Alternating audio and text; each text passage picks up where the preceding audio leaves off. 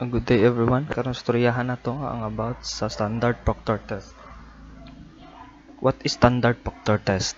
Unit weights and moisture content field tests. It, it easier for the designer to specify what was required and to document the suitability of the work performed in the field. Besides, knowing the optimum moisture content give clear guidance for when eh, whether the soil being compacted should be made drier or wetter to make everyone's job easier. So, napagihimo diri nga table about standard proctor test. So, man siya, pada play na to ning graph kay samok. Na na so kanita na volume of mold given na siya tanan. Kaning weight of moist soils given na siya tanan. Sampulan ta mo ha? Kunyari himuon ko ng 4 uh, maglahi, naglahi ilang mga value. Balik na to. Kani specific gravity. Given na tanan. W given tanan. So atong i-solve diri ang moisture content moist unit weight dry unit weight. S S S aning tulo. Percent niya degree of saturation niya. Ah, tulo ka buok. 3 ka tulo ka percent no? So magsugod ta sa moisture content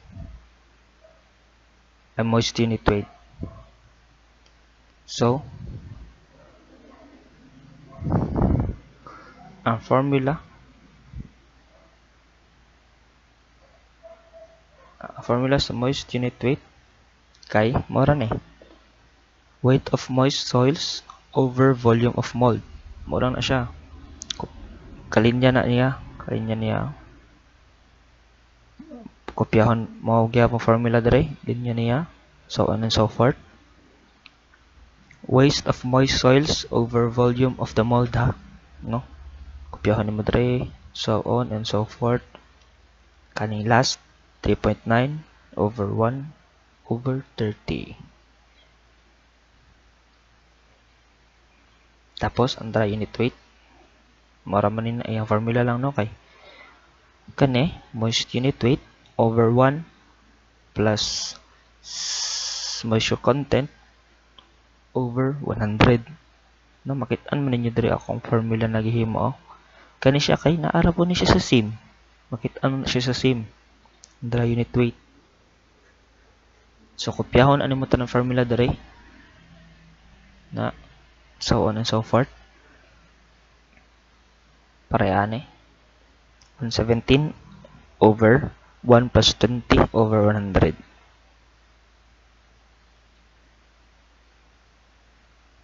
Na So nakuha na makuha na nato tanan diri no gamit tong formula na akong giingon. Nya diri na puto sa dry unit weight with respect to degree of saturation. Karon kaning degree of saturation mga given ni sila tanan o kaning specific gravity given at tanan weight? W? Given at tanan siya pulihan ko ni. Ya pulihan ko ni 2.9 malahi ko na ilahang ano na lang malahi na. Karon dire ta magsugod sa 80% so 80% kay kanino? GS times 62.43 atong i-escape 0.43 ay 62.43 over 1 plus 2.7 balik times W. Ang W diri kay 8. Dara oh. Escape sa nato bitro na 8 kani o 8. Tapos over 0.8. Kani 0.8 mao ni siya 80%. Mo siya 0.8 ka 80%. Kung kunwari direta sa 90%, 0.9 atong gamiton. So kani kani nga formula mo ni formula dire sa pababa kani direta sa last. So 2.7 2.7 times 62.43 over 1 plus 2.7 times pila to 20 over 0.8 na So, mauna ni siya magawas. Kunyari, ako aning pulihan na. Sample, sample ta. Kunyari, pulihan ko ni og 30.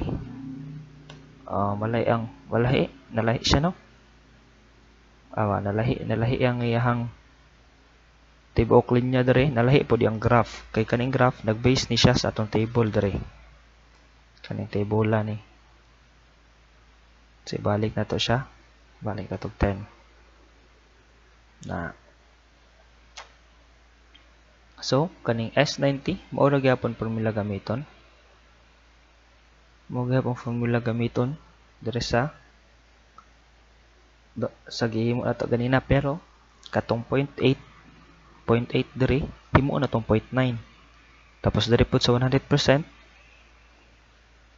ang ang 0.9 diri ug ang 0.8 diri pila na to 1 kay 1 man ang 100%. So, sample tabalik kana oh 2.7 times 62.43 over 1 plus 8 over 0.9 kay 90%. So on and so forth hantod pababa. Kani 100% o tanawa o 2.7 times 62.43 over 2.7 times 8 over 1 kay 100%. Uh, kunwari dirita. Kani 2.7 times 62.43 over 1 plus 18 over 1 kay 100%. So kunwari pulihan nato ng value dire. 4.01 himo na to 6.59. O nalahi siya, nalahi pod kaning blue sa tong curve. Kay mo na yang gina-represent. Kaning blue na curve ang gina-represent ani nga linya. So balik na to siya sa dati niya. Na nibalik na siya sa dati. So diri makita nato no? Ang graph sa yang ang relation relation sa unit weight sa moisture content makita nato diri sa standard factor test na graph so malang na siya no? Salamat. Kasabot man siguro ang tanan. Kung naay pangutana, pag-comment lang